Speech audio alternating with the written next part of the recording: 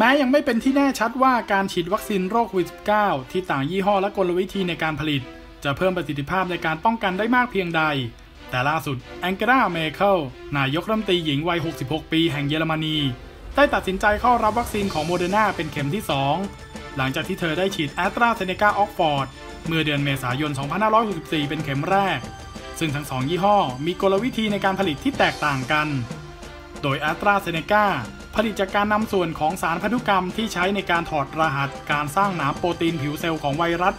ใส่ในโครงของอะดีโนไวรัส ที่ไม่เป็นอันตรายต่อมนุษย์มาสร้างภูมิคุ้มกัน ส่วนโมเดอร์นาใช้เทคโนโลยีแบบ mRNA สร้างพันธุกรรมสังเคราะห์ขึ้นในห้องปฏิบัติการนำมาช่วยให้ร่างกายเกิดภูมิคุ้มกันต่อไวรัส ขณะที่เยอรมนีได้เคยระงับฉีดแอสตราเซเนกาเมื่อเดือนมีนาคม หลังมีรายงานผู้ป่วยลิ่มเลือดอุดตัน แต่หลังจากนั้นก็อนุญาตให้ฉีดแก่ผู้ที่มีอายุ 60 ปีขึ้นไป และล่าสุดเตรียมจะฉีดให้ในวัยผู้ใหญ่ โดยในหลายประเทศเริ่มศึกษาการฉีดวัคซีน 2 เข็มต่างยี่ห้อ เนื่องจากปัญหาการขาดแคลนวัคซีน และต้องการเพิ่มประสิทธิภาพต่อไวรัสกลายพันธุ์ อย่างเกาหลีใต้ก็เตรียมฉีดให้ชาวเกาหลี 760,000 คน ที่เคยได้รับวัคซีนแอสตราเซเนกาเข็มแรก ฉีดวัคซีนไฟเซอร์ไบออนเทคเป็นเข็มที่ 2 หลังประสบปัญหาวัคซีนของแอสตราเซเนกา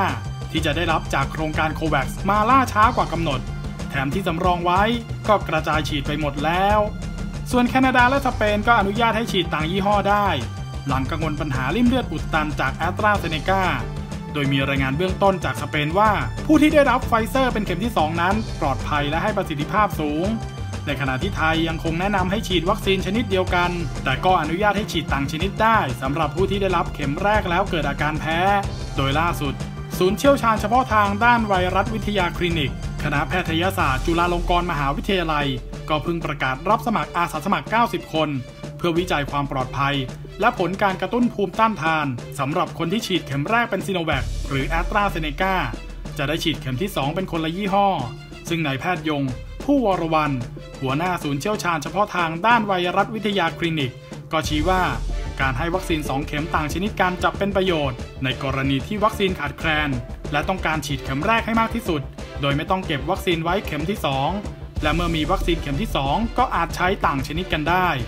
อย่างไรก็ตามนายแพทย์ยง ก็เคยเปิดเผยข้อมูลเบื้องต้นของผู้ที่ฉีดวัคซีนต่างยี่ห้อ 5 ราย โดยพบว่า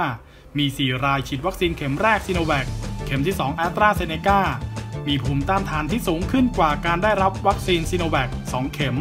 ขณะที่มี 1 รายได้รับเข็มแรกเป็นแอสตราเซเนกาเข็มที่ 2 เป็นซิโนแวคก็พบว่ามีภูมิคุ้มกันที่ขึ้นสูงกว่าเกณฑ์เฉลี่ยในอีก 1 เดือนต่อมา จึงอาจเป็นแนวทางที่นำมาใช้ในการฉีดเข็มที่ 3 แบบต่างชนิดได้ ดังนั้นการสลับเปลี่ยนวัคซีนจึงต้องมีการศึกษาอย่างละเอียดก่อนที่จะนำไปใช้จริง